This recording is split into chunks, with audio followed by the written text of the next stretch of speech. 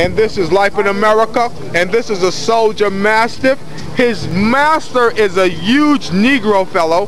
And the dog is equally huge. If you look at his massive head. And this is Life in America. And this is a mastiff.